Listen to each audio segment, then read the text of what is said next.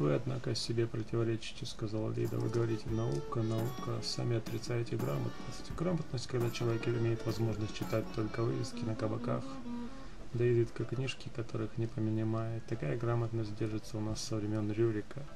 Гоголевский Петрушка давно уже читает. Между тем деревня, какая была при Рюрике, такая и осталась до сих пор.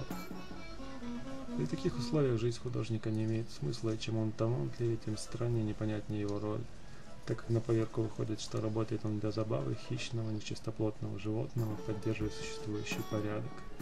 Я не хочу работать и не буду, ничего не нужно. Пусть земля прорывается в тартарары. «Мисюська, выйди», — сказала Лида сестре, очевидно находя мои слова вредными для такой молодой девушки. Женя грустно посмотрела на сестру и на мать и вышла. Подобные милые вещи говорят обыкновенно, котях, когда хотят оправдать свое равнодушие, сказала Лида. Отрицать больницы и школы легче, чем лечить и учить. Вы угрожаете, что не станете работать, продолжала Лида. Очевидно, вы высоко цените ваши работы. Перестанем же спорить, мы никогда не споем так совершенно самое несовершенное из всех библиотечек и аптек, о которых вы только что отзывались. Так презрительно и оставлю выше всех пейзажей на свете. Лицо не огорело, чтобы скрыть свое волнение, она низко, точно близорукая, нагнулась к столу и делала вид, что читает газету.